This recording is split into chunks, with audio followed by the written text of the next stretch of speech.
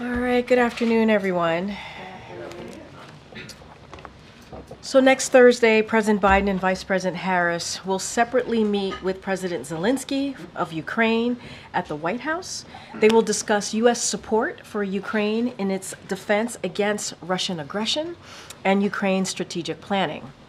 The president and the vice president will also emphasize their unshakable commitment to stand with Ukraine until it prevails in this war. Earlier today, the president addressed the Economic Club of Washington, D.C., where he discussed the important moment our country has reached. Inflation and interest rates are falling, and the economy remains strong. As the president made clear in his remarks, this is good news for the overall economy because lower borrowing costs will support economic growth. The president knows there is still more to do to lower costs and protect the progress American workers have made. With that, I will turn it over to Jared Bernstein, who is back, uh, chair of the Council of Economic Advisors, to further discuss the progress our economy has made under the Biden Harris administration. All right, Jared, welcome back. Thank you. Thank you for inviting me back. It's a pleasure to be here. Thanks to Karine and her team for helping accommodate my visit and to the CEA staff who uh, always help me uh, be well prepared. Uh, earlier today, as you just heard, the President talked about the progress we've made in helping to build a more prosperous and equitable economy on behalf of the American people. He described that progress in terms of sustained low unemployment, job and real wage gains, solid real GDP growth driven by strong consumer spending and investment. He talked about the optimism embedded in the record 19 million people who have filed to start small businesses, the unsnarling of supply chains, the record energy production, the investment in key sectors of domestic production like clean energy and chips to ensure America's position in the global economy. And he marked this moment in our, in our economic progress by citing the actions taken by the Federal Reserve yesterday to lower the benchmark interest rate they control, an action that will help lower the borrowing cost for homes, cars, credit cards, and borrowing to start or build a business. The, Fed's action also underscores the historically unusual fact that all of the progress I just described occurred during a period of significant and critically important disinflation. Though these words, thankfully, did not appear in the President's remarks today, in CEA language, he was talking about the very low sacrifice ratio that has characterized this economic expansion. This ratio derives from the historically negative relationship between unemployment and inflation. It describes how many percentage points of unemployment, for example, we would have to accept to get inflation back down to its target. That concept is why, not that long ago, we saw prominent headlines and commentary assuring us that it would take much slower growth.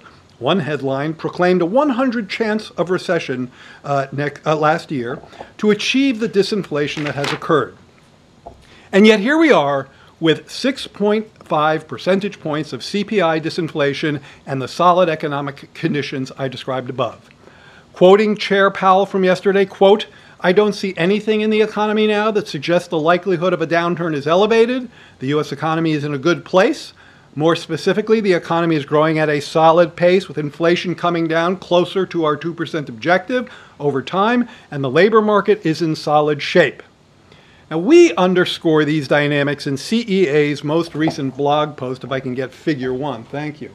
Uh, so uh, this is a blog post that you can get from the CEA uh, website. What this shows is, uh, in fact, uh, inflation over the period where it went up and disinflated against a set of forecasts that were made by the blue chip forecasters, by CBO, by the Fed's FOMC SEP committee. And you see that the inflation forecasts were, were quite, quite good, quite accurate. They pretty much follow the dark line, which is the actual line.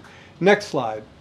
That gets very different when you look at the unemployment rate. In fact, the title of our blog is, is How the Economy Defied the Forecasts. Here we have the forecast predicting unemployment would have been uh, very high in order to uh, achieve that much disinflation. And in fact, what we have here in this shaded area is the uh, most optimistic and the most pessimistic uh, estimations of where the unemployment would be, uh, unemployment rate would be by the blue chip forecasters. These are the most optimistic because they're the lowest. We beat the most optimistic forecast when it came to unemployment. If, next slide please, um, if in fact the forecasts were correct, this is how much more unemployment we would have had, how much more unemployment households and American workers would have been stuck with if we hadn't beaten even the most optimistic forecast on unemployment. And you can see those numbers range from 1 to north of 5 million unemployed persons whose fate was avoided by the trends I've showed you thus far. And finally, figure 4 uh, shows the same dynamic for GDP. Again, beating the most optimistic forecast of the blue chip, which in this case would be the uh, uh, upper part of the shaded area. I'll close with another important reference to the president's speech uh, today. Uh, uh, the, the, part about, and you heard this from Karine, our work is not done. Uh, as he put it, I am not here to take a victory lap. I'm not here to say the job is done. I'm not here to say we don't have more work to do. Of course we do. Our cost cutting agenda in particular is as urgent today as it was before the Fed acted, but that fact should not prevent anyone from recognizing the progress we've made, the expectation defying ongoing expansion, and the work, productivity, and grit of the American people to get us where we are today. And with that, I'll take your questions. Um, you're, you know, one of the people that the president would call if he has any questions about the American economy. I was curious to ask you, um, what would you say is an economic is issue that the president these days is asking the most sort of probing questions yeah. to you about, whether it's a data point or a phenomenon or something that he's seeing in the economy? Well, I've been uh, talking to the president a lot in the last few days, as have met many other members of the team uh, in preparation for the speech he gave today. So I am uh, ready with uh, a, a, very timely answer to that question. Uh, it's it's it's the same. It's a similar dynamic, similar conversation I've had with Joe Biden since I was his chief economist when he was the vice president. He wants to know how these economic developments, how the progress I've talked about today that he spoke about affects uh, uh, working families like the one he grew up in. And right now, that relates a lot to the interest rate cut. How does a cut in interest rate ripple through to the economic lives of working American families? And the answer that I shared with him and I'll share with you is uh, lower costs of lending, lower costs of uh, a mortgage, lower costs if you want to take out a loan to improve your home, lower costs of auto loans, credit cards if you want to start or expand a small business. Lower interest rates are uh, really meaningful to people. It's one of the, uh, uh, it's really one of the key uh, economic variables in, in a lot of people's uh, lives through that channel of, uh, of borrowing costs. And that's certainly, I think, a timely example of, uh, of, of, things we've discussed lately. And how did you prepare him for the possibility of the Fed making the kind of cut that it did yesterday? Uh, having conversations much like the one we discussed. I mean, uh, we're very careful, as you know, to respect the independence of the Fed, uh, but of course, we're always going to talk about uh, any important dynamic or variable in the economy, and so uh, this is a conversation uh, we've had, and it, you know, it, it, goes right to the impact of the the um, uh, it goes right to the impact on the economic lives of the families we discussed. I think also part of this discussion has been about um, uh, the trajectory of inflation, and here. I want to underscore something I uh, said in my in my topper, but also the president leaned in today. Very important to him. We've had a lot of discussions about this. So, direct answer to your question he's been very interested in these predictions that said, uh, sorry, you can't get this much disinflation, six and a half points on the CPI, without accepting a much worse unemployment rate or much slower GDP growth. That is the more kind of traditional within those shaded areas in the figures I showed. And the president uh, felt strongly that we were not going to achieve disinflation on the backs of working people. We needed to get there through improvements in the economy supply side, through energy production, uh, through cost reductions in the areas where we've tried to do more of that. So maintaining the strong economy on behalf of working families while getting to lower inflation has been essential for rising real wages and incomes, and that's what we've seen. Hey, thanks for being here. Um, You know, one of the issues that has still proven to be very difficult is, is getting housing prices down. Um, Can you walk us through, do you have any kind of numbers to put on housing prices and the, the- the, the importance they play within the CPI bundle in terms of, you know, now that we've had the interest rate cut, how much more is, is it, you know, our housing prices going to come down? And then I asked this question yesterday, but I want to ask you again. I mean, with the escalating tensions in the Middle East and the possibility of a broader regional war uh, growing, um, how do you assess uh, the impact on uh, prices, both in terms of oil and and other factors? Okay, so on housing prices, uh, you're very uh, you're very much correct that um, the uh, CPI, um, as well, well, the CPI in particular, but um, the index I was showing earlier, which is PCE different index, uh, uh, they, they have uh, heavy weights for housing. CPI in particular. In the CPI, the housing weight is, I think, around 35%. It's uh, the sing- shelter is the single largest weight, I believe, in, in the CPI. And so it, it, it's very impactful. And one of the ways we uh, showed that in a recent blog that we did, which I think, you know, I, I, I commend to you because we really dive into your question uh, for, on the CEA website, is uh, we pointed out that if you look at core inflation over the past year in the CPI, that's inflation without uh, energy and food, 3.2%. Core inflation CPI without shelter, half of that. 1.6%. So it really gives you a flavor of how heavy that weight is. Now, there are two things going on with housing prices in the CPI. One is cyclical or mechanical, and the other is, or maybe call it, you know, something, well, one is, is cyclical or mechanical, and the other is structural. So the mechanical part is that as rental inflation has rolled over, and it really has, I mean, uh, the inflation of rents was highly elevated. It's now back to levels that we saw pre-pandemic, and this is rental inflation now, not rental not, not the price level, but the inflation. As that has rolled over, most CPI analysts have expected that to filter into the index by now. We haven't seen that. It's a bit of a head scratcher. Uh, I think Powell talked about it yesterday. He referenced that the other part of shelter costs, owner equivalent rent, which I won't get into the details, um, that's been uh, coming in uh, stronger than expected. So, uh, uh, but but simply based on the mechanics of the lags and the rollover in rental inflation, uh, we still expect that to show up as easing in the in in the CPI's housing component. But where we but much more important from our perspective and from the Biden administration, I'd say the Biden Harris administration, because Vice President Harris has ambitious plans, is to deal with the structural problem. We have a 15 year in the making shortage of affordable housing in this country. 15 years in the making, millions of uh, units shortfall. Um, and this is a market failure. And when there's a market failure, even the most classically oriented economists believe that there's uh, uh, important space for government intervention. And Vice President Harris and President Biden have, uh, I think, very uh, uh, uh, important and some of, in, in many cases, tried and true policy measures that would help reduce that shortfall. Expanding the low-income housing tax credit, subsidizing developing and building uh, in, in ways that would make those deals, that make those developments pencil out in a way that they don't right now. Uh, we could spend a lot more time talking about housing policy, but you can you can find it out there. I think addressing that shortfall is absolutely critical. I'd call it one of the biggest pieces of unfinished business we have, but we can't do it by ourselves. Congress needs to work with us, and there is zero reason why this should be a red or a blue or a D or an R issue. This shortage is pervasive in states across the nation. Middle East.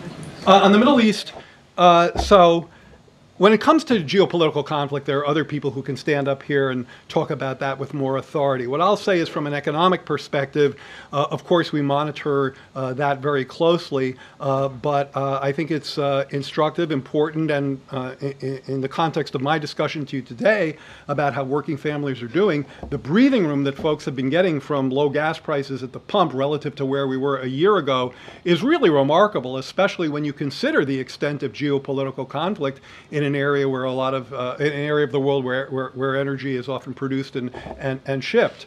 And you know, this morning the gas price was three dollars and twenty two cents a gallon. I believe that's sixty eight cents per gallon down from where it was a year ago. That's real breathing room. It's one of the reasons why year over year CPI uh, is 2.5% in the last read, close to where it was pre pandemic. And uh, we think that's you know an important piece of breathing room. We would also argue that uh, the president's fingerprints uh, have been on that, both whether it's a matter of uh, the release of the strategic reserve, but also record energy production from all sources. Um, the president, in his remarks about an hour ago, said that he had never spoken with the Fed chairman uh, since he's been in the White House. Um, that's obviously not true. He met in the Oval Office in 2022. Can you clarify uh, the president's remarks there and why did he say that?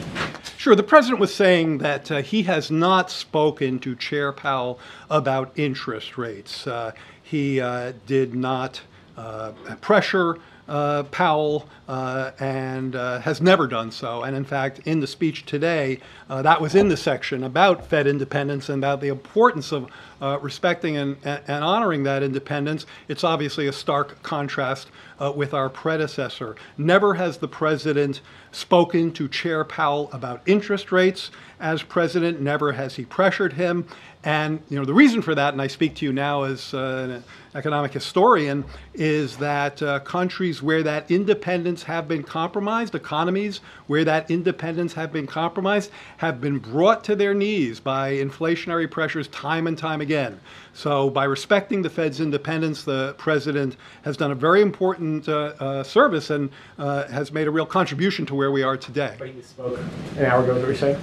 The president was saying he's not spoken to Chair Powell about interest rates as president. That's what he. That's certainly what he meant, and uh, he certainly didn't pressure him in that discussion that occurred in May of 22. Thanks, Jared. So this rate cut is colliding with presidential politics. At what point do you think Americans will start to feel the broad economic improvements that come with this rate cut? Would it happen before the election? Well, let me start with the political reference. Um, I'd like to quote from you uh, from a Wall Street Journal uh, lead editorial um, a couple of days ago. Quote, we don't agree with those who say a cut in rates this week is political or intended to help Kamala Harris. Now, I don't think the ed board of the Wall Street Journal is associated much with Democrats or liberals, so I take that as a, a statement that I uh, very much agree with on the non politicization political I don't know how to say that word on the uh, on, on, on the fact that what Chair Powell was doing was monetary policy, not politics. Now, your more you know relevant question uh, is is about when these interest when people start to feel these interest rate cuts. Right, that was the other thing you asked. Um, interestingly, the first part of that answer is already because of the priced in dynamics. That is, the mortgage rate, uh, we talked about housing a minute ago, uh, you go back a few months, it was 7.5%. As of this morning, it was 6.1, I believe, 6.15, if I'm remembering correctly. Um, that's a big step down, and that occurred before uh, any Fed rate cuts took place, um, in large part uh, due to um, the expectation, market expectations, that those rate cuts were going to occur. So that's a priced in effect.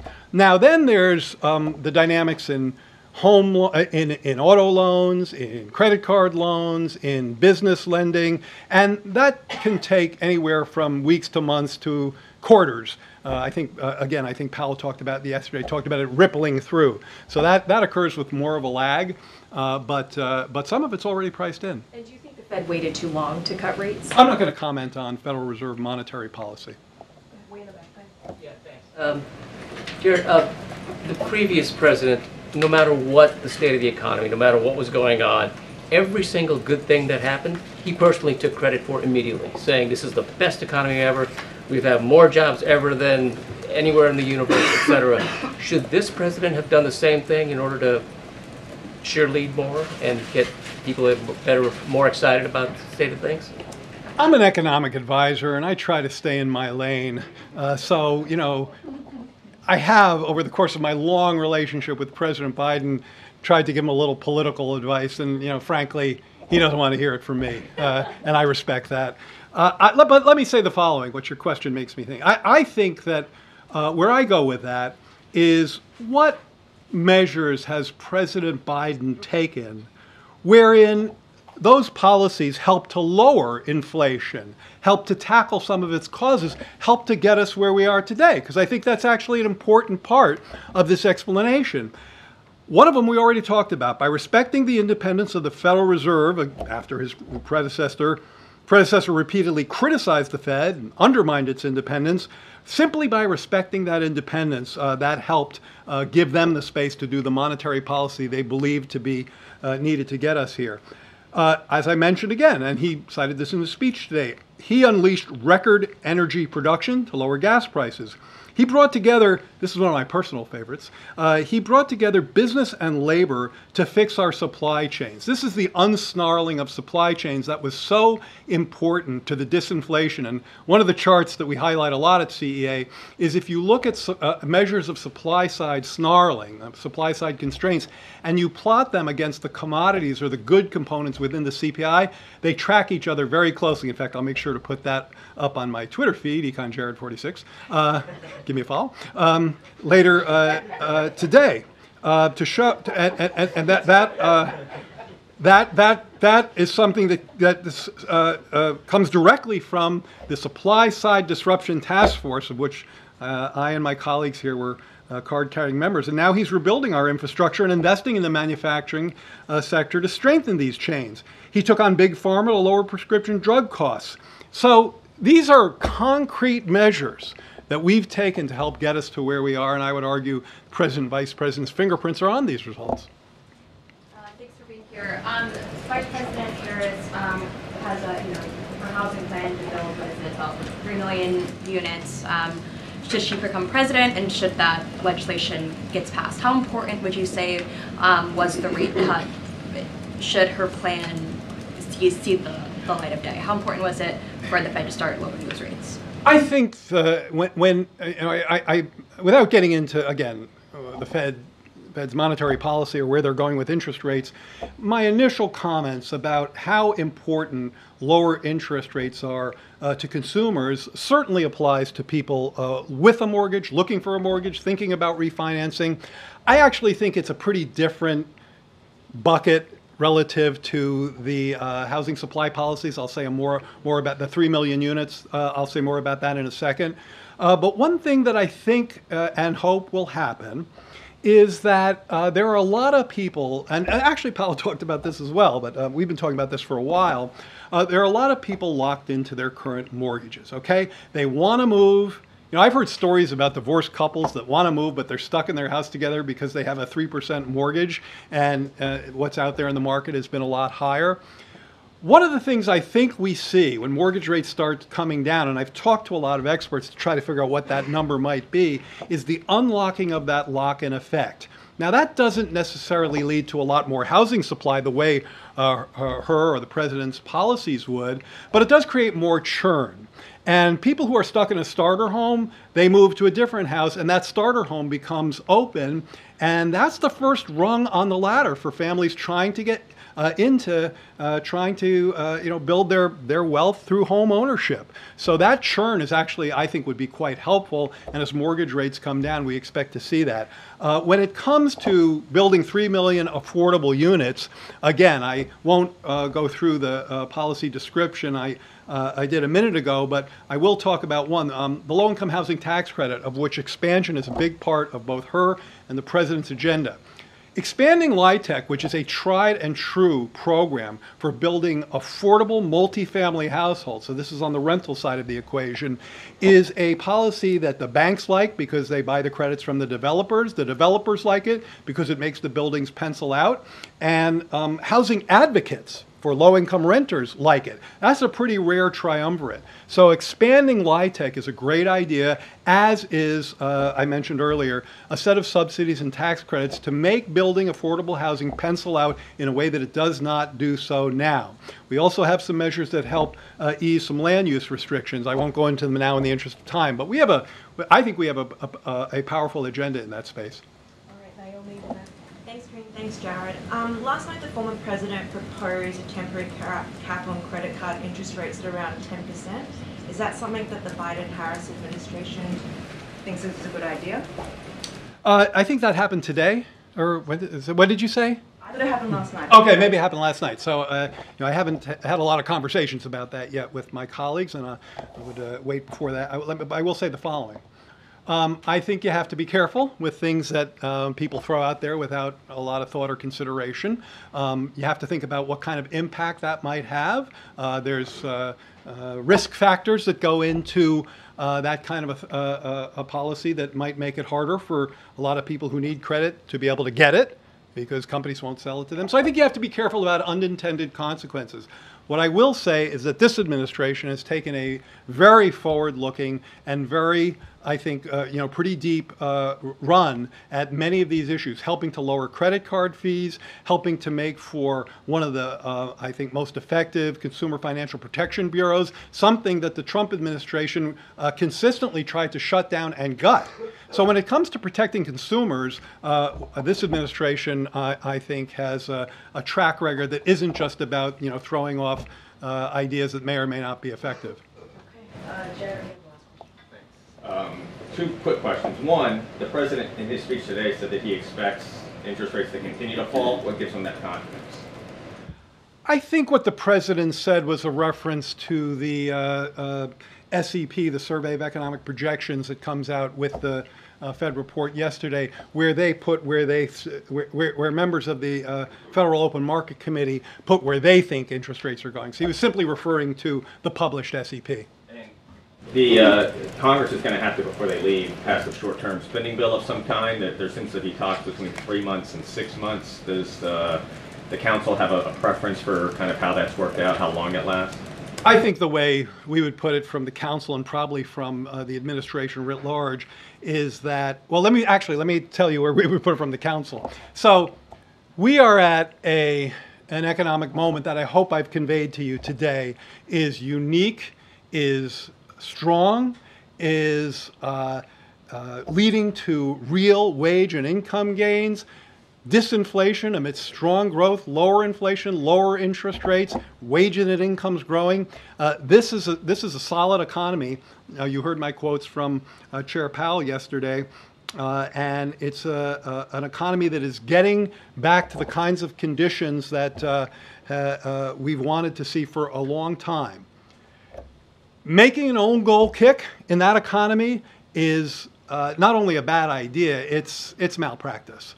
Uh, it doesn't, you know, see, it's not like um, these, uh, it's not like government shutdowns, you know, send the economy off a cliff, but they are a negative. Uh, they do lead to um, losses. Now, sometimes those losses are made up on the other side of the shutdown, but there is no reason for us to go through that. There's never a good time for that own goal kick, and it's particularly bad now. The only path forward is through bipartisanship. House Republicans should stop wasting time and work across the aisle to pass a short term bill to keep the government open and provide emergency funding for disasters. Congress knows how to do this. It's not complicated. They've done it on a bipartisan uh, basis many times. Given the economic conditions I've been touting here today, given what we saw yesterday, given the information in the president's speech, uh, uh, this is uh, no time to be uh, uh, playing those kinds of games. All right, thank Jared, you so much, update Jared. farm bill, Thank you. Farm bill, No, farmers thank and you. ranchers Thank wanna you know. so much. Jared, Thank farm you. bill, All right. farmers and ranchers like to know. All right, give Jared a follow on X. Thank you. Thank you, Chair. Um, actually don't have anything else. Go ahead, Zeke. Um, Thanks, Karine. Uh, First for you, um, escalating tensions uh, along the Israel-Lebanese border. uh, even This morning, uh, right now, potentially uh, ongoing uh, bombing and shelling across the the border. Um, Has uh, the president tried to contain that front since October 7th? The administration held that out in, in the days after as a success. Has, has he reached the limits of his influence there in terms of keeping uh, a lid on what had been a sibling conflict from growing into a larger conflagration? A- a- As you said, uh, we've spoken about this uh, and our concerns, uh, and so we've been very clear about this. Our commitment, uh, obviously, to, to Israel's security is ironclad. We are unwavering, um, waving against all uh, um, Iran-backed uh, threats, including Hezbollah.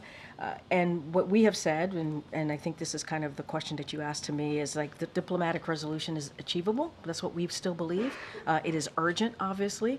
Uh, the conflict uh, along the blue line has gone on for way too long, far too long, and uh, it needs to get to a resolution quickly. And so we're going to continue to do that, continue to have those diplomatic uh, conversations. We continue to work on a ceasefire deal. We believe that is that is the way forward in in um, calming and uh, lowering the temperature uh, there, and that's why we've been working around the clock to get that done. But we still believe a diplomatic resolution is the way forward here. We still believe that it is uh, it is possible, and obviously the urgency uh, continues to be continue to be that. The president's top representative was in the region you know, Yeah. a day before those pagers all started exploding. Uh, you know, it seems that U.S. influence, the president's influence, seems to not not really be working. or It's not having an effect.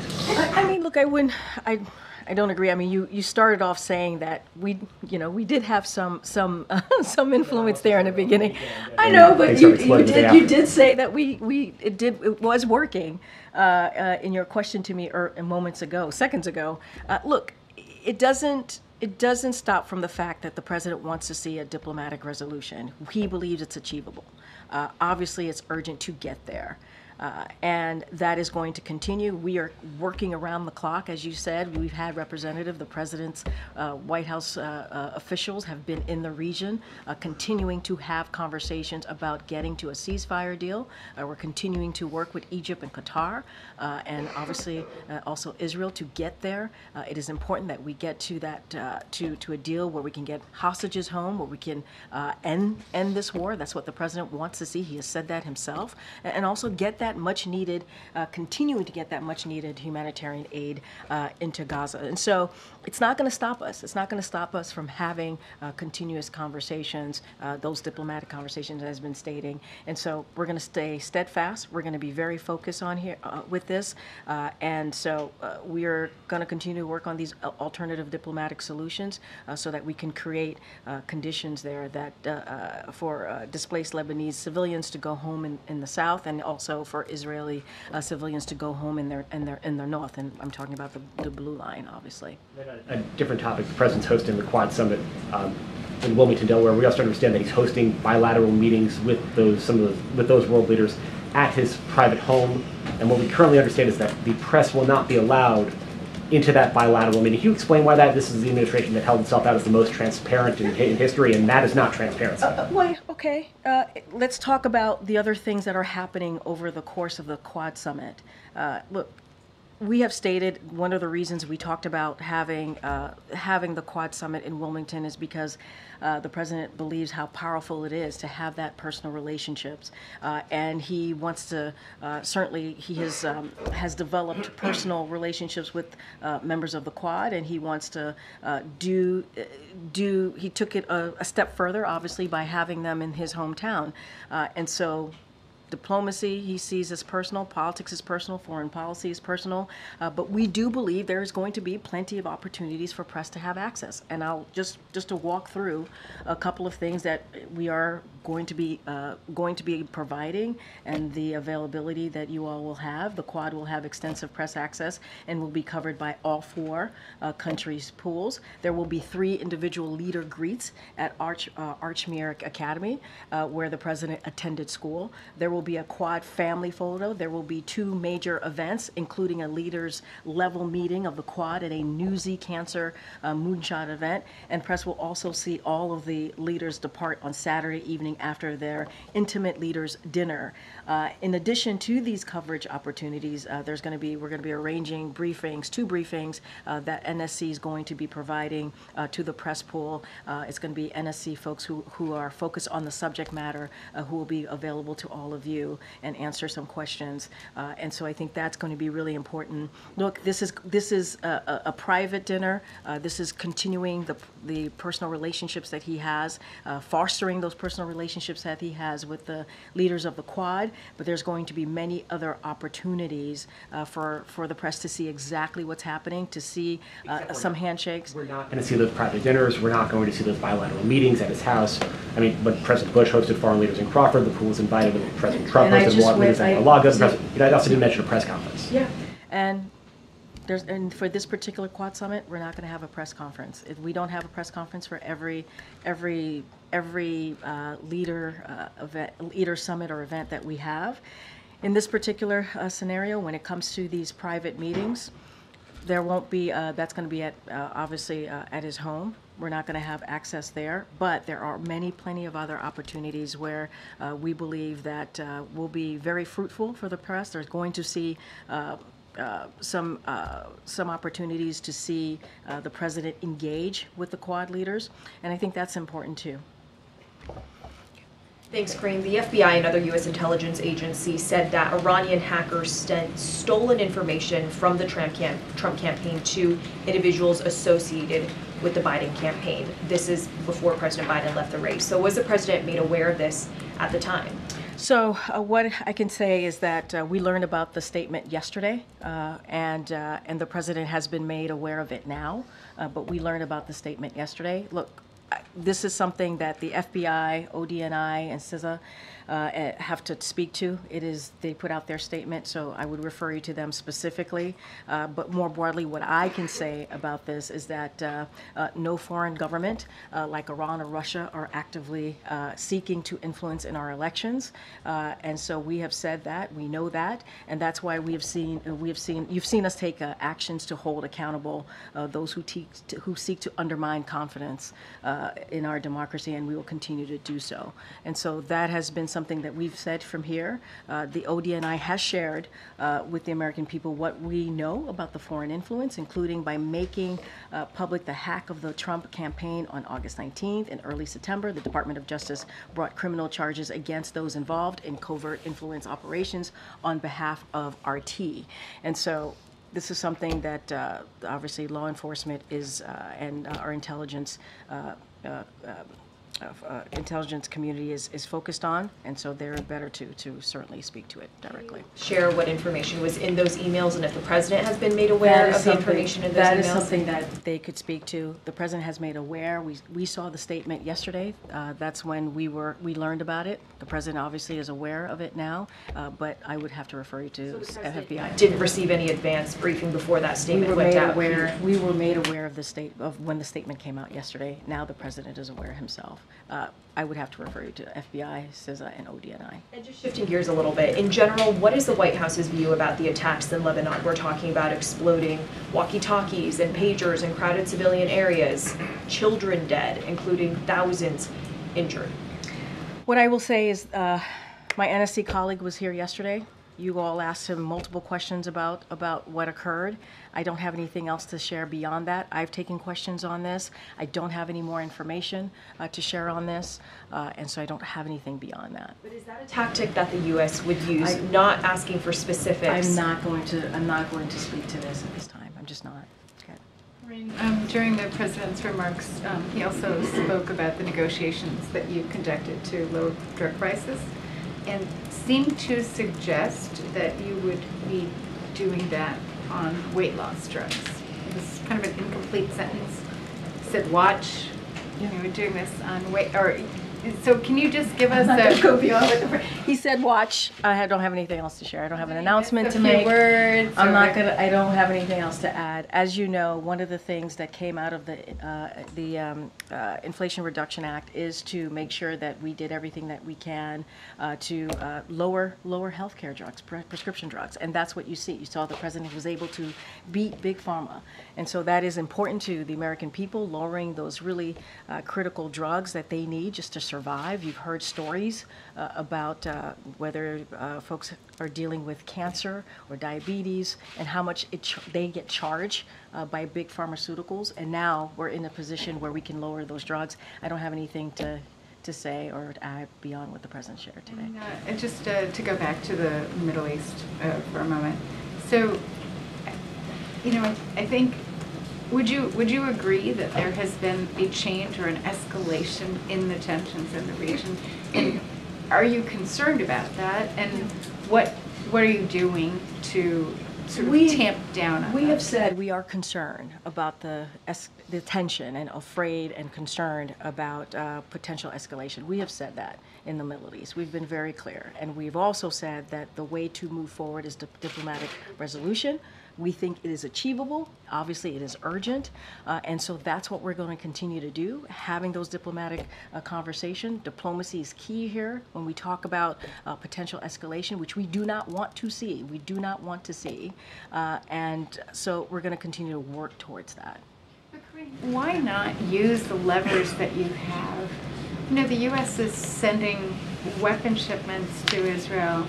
Why not, in other cases involving other countries, you have curtailed weapon shipments. In the case of Israel, you've put, you know, stopped, paused the 2,000 pound weapons. Why not send a signal by pausing weapon shipments to express your concern? Okay, so we are gonna, our policy has not changed. Our commitment to Israel's security is ironclad. That has not changed. Uh, and we have, we cannot forget what Israel is dealing with in that region. Uh, what we're talking about, uh, having to uh, really uh, fight against, uh, you know, Iran-backed threats, including Hezbollah. This is something that we've been very clear about. And so our support has not changed. It will continue. We do not have a policy change here. Uh, we're going to continue our commitment to continuing to support Israel's security. Uh, continues here. We want to see a diplomatic resolution. It is important. Uh, we want to see uh, that happen. Obviously, we, we believe it's achievable, uh, and that's how we want to move forward here. But we do not, we're not going to change our policies. It. Karine, um, an Israeli official told CNN that a senior advisor to Prime Minister Netanyahu had presented to the Biden administration a new ceasefire proposal. Did that happen? So, as I said multiple times before, and my colleagues here who have uh, from NSC who've been at uh, at the podium, uh, we're going to continue to have discussions with Egypt and Qatar, uh, as well as Israel on a way forward. Uh, let's not forget, after Hamas brutally, brutally uh, murdered six hostages, I'm not going to get into specifics. I'm not going to. Uh, I'm not going to negotiate from here, uh, but we are going to continue to have those discussions. Just asking if you can confirm that there was a new proposal shared with the U.S. Just going to continue to have discussions with Qatar and Egypt. I don't have anything else to share beyond that. Okay. Um, The proposal appears to be uh, for a permanent end to the war, release of all the hostages in Gaza, all Palestinian prisoners held by Israel also being released, um, and safe passage for Yahya Sinwar out of Gaza. Does any of this sound feasible to you? We're in consultations with all the parties, Qatar, Egypt, Israel. I'm not going to negotiate from here. I'm not going to confirm anything from here, uh, but we continue to have these discussions. We believe the best way forward is to get to a ceasefire deal. That's what we want to see. Bring home hostages, get more uh, immediate relief into Gaza. That's what we want to see, and get uh, uh, and make sure we end this war. And that's what we want to see. And just finally, um, next week, the president and the prime minister are not meeting in New York City or on UNGA. Why is that? I don't have anything else to share beyond the, uh, beyond what we've shared of what we're going to see with the president. If we have more information to share on what, uh, uh, who the president's going to meet with, uh, any other world leaders, we'll certainly share that with all of you. Reported that they're not going to meet, so I'm just asking. I I don't have anything else. As you know, when it comes to the Prime Minister of Israel, the President, he and the President have had multiple conversations over the course of almost a year now. Uh, They've met a couple of times. I just don't have anything to share beyond uh, reasoning as to why they're going to meet, if they're going to meet. I'm just not, don't have anything else to share. Okay, Danny. Thanks, Karine. Um, you said that the president believes that a diplomatic solution is achievable. Um, what, what on earth gives you the, you know, the, the, the, the reason to believe that? I mean, what, what evidence is there that despite these, you know, these, the, the pager bombings and the, um, you know, now airstrikes today, and Nasrallah saying it's a declaration of war, What you know, what, what is there that makes you believe that? That makes the president believe that? Because the president continues to believe that we have to be optimistic and diplomatic resolution is the best way. When we think about foreign policy, when we think about these type of relationship, having diplomacy, having those conversations is critical, is key. And the president has been successful in doing that in the past three and a half years. So that's what he wants to see. He believes that is still achievable. He believes that is still, still achievable. We are not saying that we don't have concerns. Uh, we do not want to see escalations. Uh, we are not saying that the conflict that we have seen, uh, it truly has, along the blue line, has gone for too long. We are acknowledging that. Uh, we're going to continue to have this di- di- diplomacy. It is important to do so, uh, and that's the way we see this president sees moving forward. The First Lady uh, will be traveling to Mexico October the 1st um, to attend the inauguration event uh, of uh, Claudia Sheinbaum. Um, Vladimir Putin is also invited to the event. Is that potential encounter something that worries the White House? No. Considering the uh, relevance and the influence the U.S. has in the region, in the Middle East, considering that you provide most of the arms, uh, I, what is do you, what, what, what do you think is the precise goal uh, Israel has in these attacks in Lebanon? I can't speak to to uh, to any of. I can't speak to this. Uh, I'm just going to leave it where we have been in the last two days. You heard from my colleague yesterday. Uh, look, the, going back to um, the inauguration uh, in Mexico, the first lady. I talked about this yesterday. She's looking forward to being there. It's a historic moment. Uh, that's going to be her focus in supporting uh, the president-elect and being there, being there with the, the U.S. delegation, where she's very much looking forward to it. I'm not going to speak to what President uh, uh, Putin is going to do or not do. Thanks, Karine. And thank you for clarifying when the president first learned of this Iranian influence campaign um, or attempts to reach people associated with the campaign. Now, what is now the Harris Walz campaign says it was people associated with the campaign, not campaign staffers, who received emails from Iranian hackers. Were any of those people associated with the campaign, as they put it, members of the Biden family? I would have to refer you to FBI, CISA, and ODNI on this. They can speak to the specifics. I would also have to refer you to the campaign. And, well, that's the thing. He's- Yeah. He's not a member of the campaign anymore, and apparently these people weren't either. That's why we're asking you here I- at the White House. And this is, uh, this is something that the FBI, CISA, and ODNI can speak to. I cannot speak that, to So that from whether here. these people were White House officials who weren't on the Wilmington payroll at the time, being contacted through their personal email, you couldn't say. You have to speak to FBI, ODNI, and CISA on this one. Regarding the Quad, is the vice president attending any of the meetings on Saturday? Uh, She will not be attending any of the meetings on Saturday.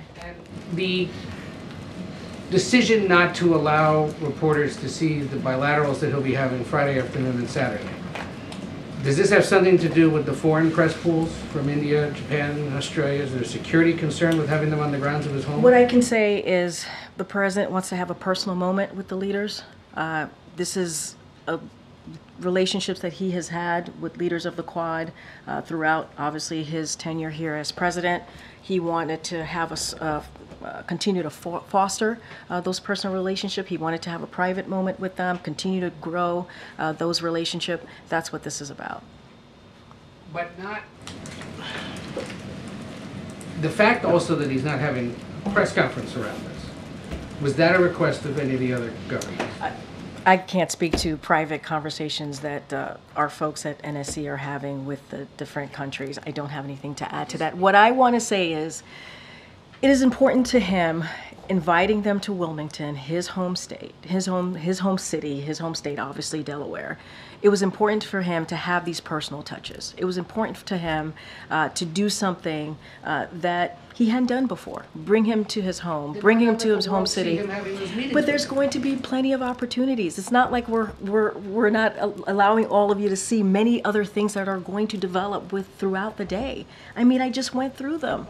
A quad family photo. He's going to take them to the uh, to his high school. You all are going to be there. There's going to be some really important uh, important announcement about Cancer Moonshot. You all are going to be there. Uh, there's going to be an opportunity to see them when they leave on Saturday as well. Depart. You'll see him saying goodbye to the leaders on Saturday. There's going to be there's there's but but can you also appreciate I hear you all, but can you also appreciate that we have created other opportunities? There is this They're one. called photo ops. That's what you've created. They're not a press conference, which we would prefer. And what I was. Go ahead. What Go I ahead, was going to suggest is what baffles people in this room, especially for those who are watching this and wondering why on earth do we harp on these kinds of things? What baffles us is this is a president who from day one committed to be the most transparent president possible, who has given speeches at various events saying that he stands for and, and, and respects the freedom of the press. And here is a great opportunity to stand with the leader of the world's largest democracy, India, and two other key democracies, who are from a region of the world that is struggling to maintain democracy. Why not face questions from reporters and a free press So which in that part? setting? Okay, so which part are you asking me about? Are you asking me about Why are going? we being allowed to So- meetings so at the there- House, there- and why is there no press conference? Okay, Which I think s- was the so- crux of the negotiations, or at least the No, I conversations no, that I, went on earlier today. I hear you, but there are two things that I'm being asked. So let me. Not every not every opportunity that we have when we do have these foreign uh, foreign leaders here do we have a press conference. That is not unusual. We have gone many times back and forth about. I, I, I totally understand. There's been some bilat, some there's been some other visit where there has not been some press conferences, right? That is not unusual. I've we've had conversation. Excuse me. Excuse me. I'm not speaking to you. I really am not. Let me have my conversation with Ed. Let me have my conversation with Ed. Thank you. And so it is it is not unusual for us to have this back and forth and talk about why it is happening or not happening. So that is I'll put that there. The other part is this is an opportunity for the president to have a personal moment uh, with the leaders. We have created other opportunities for you all to see him with those leaders, standing with those leaders, shaking hands with the leaders, giving them giving them opportunities to see uh, his high school, right? Places where he uh, that he's very well, very much connected to that you all will see. He's going to make a really important announcement about the cancer moonshot.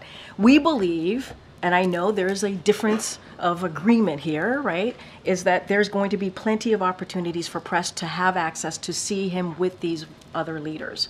And so we have made sure, made sure, and people, I think people actually care about photo ops. Photo ops are indeed important because you, and maybe there will be questions taken during those photo ops. You never know, right? Um, but a formal press conference on this trip is not going to happen with this particular event is not going to happen we have gone back and forth on many other events so that's what i'm saying is not unusual we are we wanted to make sure that there were plenty of press access throughout the day and we believe we have done that and let's see how the day goes let's see how the day goes on saturday I just wanted to be there when Modi, when Modi gets to see the Corvette, that's all. But I say, have say that I'm sorry, I somebody want to be there when Modi gets to see the Corvette, that's all. oh the corvette Um, on an unrelated matter. Yes. Uh, the Republican gubernatorial candidate in North Carolina apparently is not dropping out despite pressure from his party and some pretty salacious news reports.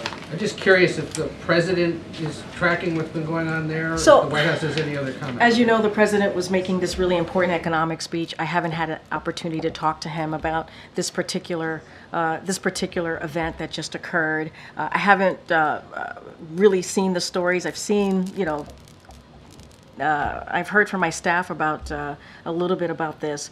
Uh, what I can say, and I want to say off the top, is that you know, uh, anti-Semitism is never acceptable. It is wrong. It is wrong. And so we have to be really clear about that.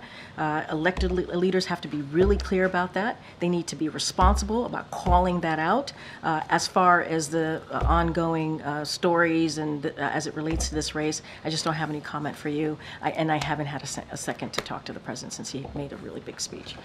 Go ahead. Thank you. Um, two questions, one related to kind of uh, your topper about Ukraine. Uh, Senator J.D. Vance said in an interview a few days ago, and I'm quoting him, um, I think Washington has left Taiwan in a really crappy position because we went, we sent all our weapons to Ukraine. Well, So do you agree with his assessment? Does the Biden administration believes that the U.S. can protect Ukraine and Taiwan at the same time? Look, um, I'm not going to go into everything that uh, someone who is in part of this 2024 election, everything that he's saying or they are saying. Uh, certainly would have to refer you to the campaign. Um, I think you have seen this president be uh, a leader on the global stage. Uh, I think you have seen a president that has brought partners together and allies together uh, to certainly show support uh, for Ukraine. It is not just the U.S. that is uh, in, engaging and giving that support to Ukraine. You see that from our allies, from our NATO allies, uh, from 50 other countries.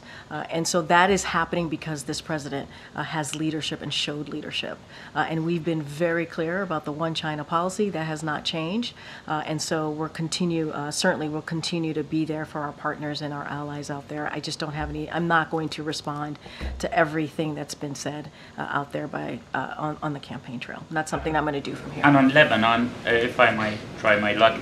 Sure. Uh, the past two days, uh, the administration uh, kept the position of we were not involved and we did not have any knowledge about it. So my question is, uh, but you've seen what the people in Lebanon endured. do you think that was act of terrorism? I'm just not going to get into it from here. Look, um, obviously, children uh, uh, being harmed, uh, people being harmed, uh, is um, is difficult to see, uh, and not something that we want to see. Uh, but as it relates to any information or anything that occurred the last two days, as it relates to the pagers or the walkie-talkies, I don't have anything else to share beyond here. From here, you heard from my NSC colleague directly as well. I just don't have anything else to share. Go ahead. Thanks, Grant. Um, the mayor of Springfield, Ohio, has um, issued a proclamation claiming temporary emergency powers that uh, are intended for to mitigate public safety concerns. Um, obviously, in the wake of the um, smear of Haitian migrants in that city. Separately, uh, former President Trump says he will visit there in the next couple of weeks. Um, I understand you have constraints as to what you say can say relating to your campaign. But in general, from a public order or community tension perspective, what do you think about that? Look, again, and, and, we have said this multiple times, you've heard the president, you've heard the vice president. Uh, it is, um, and, speaking about this more broadly, uh, it is shameful to continue to spread this type of conspiracy theory. It has been uh, debunked by the mayor of Springfield, by the governor, uh, and the city manager, the uh, police department on the ground, and to continue to spread this type of hateful, hateful smear uh, is is uh, is just. Um, it's just quite unbelievable that we're doing this, especially uh, when we're talking about leaders who are supposed to protect peoples, protect communities, and it causes harm. It causes harm to everyone. Uh, and as you can see from the actions that they have to take on the ground to protect people. Uh, and so, look, we are going to continue to denounce this. We should not be tearing our communities apart. This is a president and vice president that believes in bringing our communities together, and that's what we're going to continue to see. We have to bring down the temperature in politics. That's what the president has said, uh, and you know, it is um, uh, it is just really uh, shameful uh, uh, disgusting uh, what is being said out there. I mean, following, going down a rabbit hole, an ugly rabbit hole of conspiracy theories, and it puts people's lives at risk. It puts all of our lives at risk. Uh, and um, so it is uh, unfortunate that the city of Springfield has to deal with this, uh, and uh, and so we are um, we're going to continue to call that out. I do want to say a couple of things that we have been able to provide as security assistance support for Springfield. We tasked DOJ's Community Relations Service to Springfield to help the community come together and enhance their ability to prevent conflict. Provided four bomb sniffing dogs to help the community ensure buildings are safe and they can respond in, to incoming threats. And DHS security personnel is working with Springfield and Ohio officials to support the needs of the community. But again, these are hateful smears. They're conspiracy theories, as you know, but I want to make very, very clear from here. Just on that point, Karine, the, you said, if I heard you correctly, four bomb sniffing dogs. We provided four bomb sniffing dogs to help the community ensure buildings are safe and they respond to incoming threats. Was requested by the community, do you know, or is that a proactive thing? It's a, it's something that we've been in touch, obviously, with Springfield, uh, the Spring, uh, the community in Springfield, and so providing the assistance and trying to give them support that they need, which is not unusual when a situ, when we're in, we're in this type of situation and environment. All right, we're going to start wrapping it up. Uh, go ahead, Kate. Uh, Karine, on the subject of arms sales to Israel, um, Senator Bernie Sanders, an ally of the president, said he's preparing resolutions to block $20 billion in arms sales to uh, Israel. It's a long shot effort, but what's the White House's response to that? Our commitment uh, continues to be uh, con- continues to be clear-eyed. We are uh, committed to Israel's security. That is ironclad. Our policy has not changed. Uh, we believe Israel has the right to defend itself, especially against uh, Iran-backed uh, militias uh, like like the like Hezbollah, and so we're going to continue to do that. That has not changed. And obviously, we want to have diplomatic resolution here uh, to the tensions that we're seeing in the Middle East. We do not want to see an escalation. We believe that's achievable, and obviously, it's incredibly urgent. All right, Naomi. Um, earlier this week, the White House touted August data from Customs and Border Protection. Is there any plans within the administration to roll back the part of the president's border EO as it pertains to asylum seekers? So, um, as you mentioned, in the August data uh, came back, and uh, it showed that um, we July and August saw the lowest uh, encounters since since September of 2020. Encounters of, August 2024 were down 68% lower than August of 2023. Average daily encounters have decreased by 50% since the executive actions, and so we've taken this action because congressional Republicans refused to act.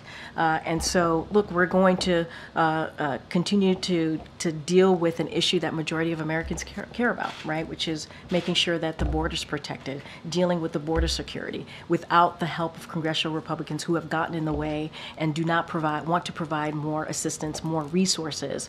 And if they were to pass uh, that bipartisan border deal, we would have additional resources to actually deal with this uh, without uh, without the actions that the president has taken. I don't have any changes to, to speak to, any uh, change in policy, uh, but again, this is something that we had to do because congressional Republicans refused to take action. And so we took action, and now we're seeing uh, the effects of that. Okay. Oh, sorry, thanks. Um, you, you mentioned you, um, you know that you don't want to see an, an escalation in the, the Middle East, but given what's happening in Lebanon, what does the White House view as that escalation? What are you all looking for? For I guess you say things have really escalated. This is what we need to do. What's going to happen? No, we, we've, I, well, we know there's tension there. We do not want to see an escalation. We're continuing to have these diplomatic uh, conversations. This is why the ceasefire deal uh, is is so important. This is why we're continuing to to to uh, uh, engage with Qatar, Egypt, and Israel to get to a resolution here. We believe if we can get to that, uh, it will reduce the tensions uh, uh, uh, along the blue line. So that's something that we're going to continue to do. I don't have a, a, a chart here to say what is escalation, what does escalation look like, and what's going to trigger, and what we define an escalation. But we know that the tensions exist. We do not want to see further escala- escalation, and we are going to continue to have uh, these conversations, these diplomatic uh, conversations, to get to a resolution. heard from President Biden on what he is tracking in terms of an escalation and maybe when he might say things have, I guess, taken that turn? Diplomatic resolution is the way to go. We believe it's achievable, it's urgent, we're going to have those diplomatic resolution. We want to get to a ceasefire and hostage deal. It is important to do so. We believe it would uh, lower the temperature, lower, reduce the tension there, and that's going to be our focus. Okay. Thank you for taking my question. Um, my colleagues at USA Today published a piece today about the status of the nation's uh, effort to clear the backlog of sexual assault evidence kits, um, something that uh, then Vice President Biden announced in 2015. Uh, there have been 100 100,000 kits tested, 350 million invested, and only 1,500 convictions. Is he satisfied with the results of that initiative? And what more does the president want to see done to reform new and old cases are handled? So you're right. This is something that the president um, is uh, very much focused on. Um, I have not spoken to him about that particular report and the findings of that report, so don't want to uh, certainly uh, say something that I haven't discussed with the president. But you heard us, and you heard the president speak to VAWA, uh, a historic uh, legislation that he introduced more than 30 years ago. And let's not forget, when he was senator, uh, there was no discussion about uh, what happens uh, when a when a woman is dealing with domestic violence or any type of violence, uh, and so he brought that to the forefront. Has fought for that for the past 30 years. Has been able to make additional. Um, uh, steps, push step, make step forwards uh, in under his administration, uh, and so don't have anything to say to that particular study. Would have to talk to the president uh, and our team, but obviously when it comes to um, the issue of domestic violence, when it comes to an issue in protecting women, uh, this is something that the president has been the on the forefront of uh, as a senator, as a vice president, and certainly as president. Yeah, Karen. Um, Jared Bernstein spoke at length about where you guys stand on the government shutdown at this point, but how would you describe right now the relationship and the communications between the speaker and the president? So I don't have a, a conversation to read out. Uh, uh, obviously, the president is in constant uh, communication with leaders, uh, with congressional members uh, on a regular basis. He gets updated by his team on what's going on in particular with the budget conversations. Don't have anything to read out on that uh, uh, speaker uh, POTUS relationship. They've talked a couple of times. Uh, they've seen each other a couple of times. Uh, but as it relates to the CR, we think that there's a way forward, a bipartisan way forward. We've seen this done before, and that's what the president wants to see. And that's what the American people deserve. This week, Johnson was talking about um, Secret Service protection of Trump, but he said this about uh, the president. He said, They don't let me talk to the president very often. That may not be a big surprise to you all. We communicate through staff. It's a pretty sad situation, and in fact, it's a pretty scary situation. Is it true that the president is just not talking to the speaker? Um, it's not unusual for staff to have regular conversations with congressional uh, staff. That is not unusual. That is something that happens pretty regularly. We have an Office of Leg Affairs for that purpose. Uh, and so uh, when there's an important moment for the president and the speaker to speak, obviously the president has that conversation. Right now, we're talking about a short term CR. That is not a difficult thing. It really isn't. It is not a difficult thing to get done. It is a easy, easy thing for uh, action for Congress to take. Uh, it, it, it, it should be something that they can decide on in a bipartisan way, as they've done many times before, and get it done. Really. As it relates to Secret Service, that is something that Secret Service can speak to.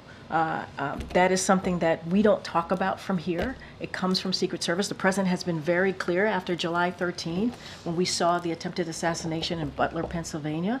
The president said we needed to increase, he wanted to see an increase uh, in the protection, and we saw that. Uh, and so uh, the president has always been very clear about this. He's always been uh, uh, uh, spoken uh, to that in particular uh, piece here. He wanted to see the highest level of protection. And Secret Service, the acting director said it, it, it, it's happened. And so that's important too. But that's something that the Secret Service speaks to. All right. Okay, everybody. Thank you. Does the president believe a farm bill will happen? Farmers and ranchers really Thank want to know.